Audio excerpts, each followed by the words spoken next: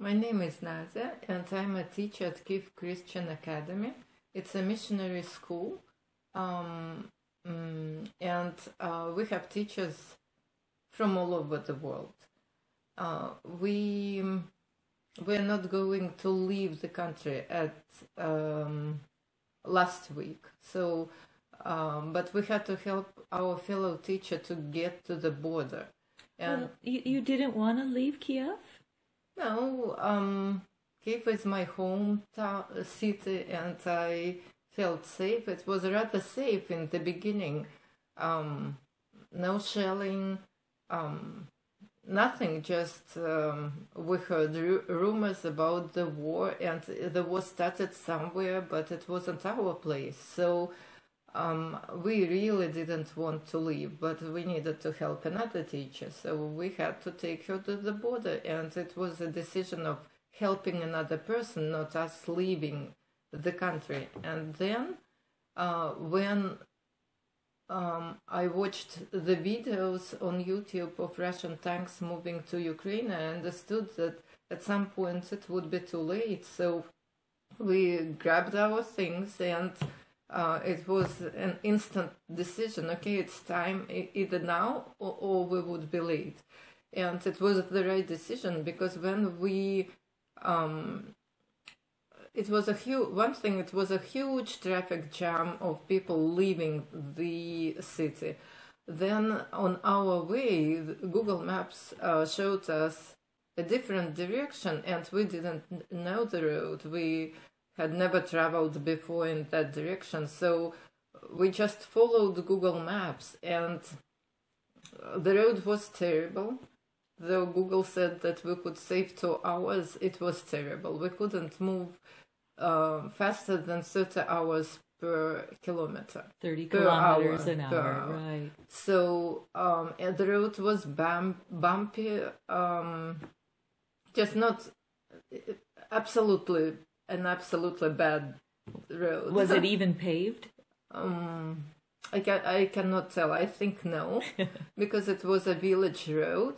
But as soon as we turned there, I got a message from my friend that the bridge which we had to cross was ruined, was destroyed. So in fact, Google showed us the right way, and um, it was kind of if we probably knew the route and wanted to choose a good road, we wouldn't make it. So uh, it took us around 16 hours to get to Lviv. Usually it takes 8, 10 hours. And then when we got to the, that city, um, another teacher rented an apartment and we had to stay in that apartment. But we couldn't get into the building. We checked all the hotels around.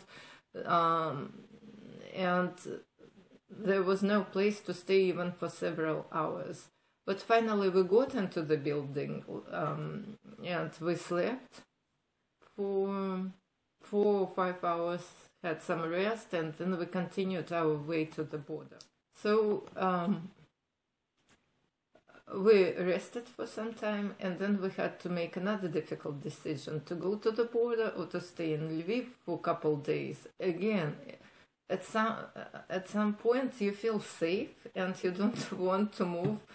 Um, but um, we had to take our teacher to the border and help her to cross the border. That's why we decided that we would um, drive further, further, and it was a very difficult decision. I didn't want, I mean, completely didn't want to go, but feeling it's like either if you don't go, then your fellow teacher stays in Ukraine and it's very dangerous, or if you go, you're leaving your country, you're leaving your Your home. Um, no, your home, but you're leaving the place where you could help. Aha, right. Because my understanding is if I am a grown up person, I shouldn't leave the country. So, right. mhm, You wanted to stay and help people. mhm. Yes. um, But so- you decided to go to the border to help your fellow teacher. mhm. And you, uh, And uh, so happened we when you got to the border? to the border somewhere at 6 p.m. p.m. or 5 Mhm. p.m. I don't remember right now. Uh, and uh, we uh, got into the line of cars.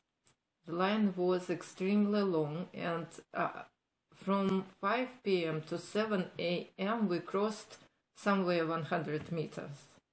So uh, we had to make another difficult decision. We left our car and walked by foot to the border. So somewhere at 7 in the morning, we started to walk, and by 4 or 5 p.m., we crossed the border, and the situation was rather tense because um, we had to stop at every block post and um, wait for three, four hours, then to cross another kilometer. So we had to walk for three kilometers 1st then to stop and wait for two hours, then uh, walk another kilometer when the office, uh, when the officers let us go walk. And um, at the border, they were mostly women and children of different ages. So, uh, um, So, how many stop points were there? no, for us, there were like three stop points. Okay. Um, but at some point, people got really nervous and were pushing, and um, it was at some points really dangerous.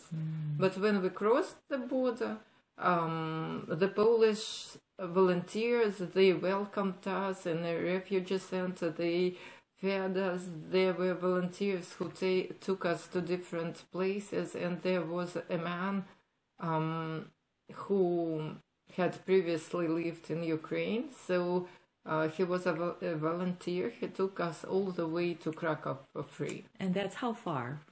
It's From the a three-hour drive. Three-hour drive. So it's not a short, No. short drive. Yeah, and mm, there we met teachers from our school. So, you mentioned that there were many uh, wo- wonderful things amidst this terrible journey. Can you share some of those with us? I think it, though it was a difficult trip, I think it was a very blessed trip. If it word trip is applicable, applicable, um, mm, because each time when we had to make a decision, God somehow influenced my heart and the heart of my friends, or um, helped us like uh, to turn where we needed to turn to take the bad road like we were crossing the border um at the place where we, there were not many people. But why uh, there were not many people? Because the road to that crossing was extremely bad. Just as if it was bombed that's why people didn't want to take it and we thought okay if people don't want to take it, then probably it's the fastest way to cross the border. And we took it, and still we spent the whole day walking, standing in the car line, or sitting in the car. Uh, it wasn't easy, but it was only one day. Uh, in comparison with my friends who spent 65 hours uh, on the border crossing it uh, to Romania. 65 Si- hours. Mhm. 65 hours instead of two hours, which it takes usually a car to. Um, to go through those Yeah. checkpoints. Wow. Thank you, Nadia, for sharing your story with us. I love seeing God's hand in the journey, even though it was difficult. To see those little blessings along the way is is encouraging to us. Mm-hmm. Thank you. you're welcome.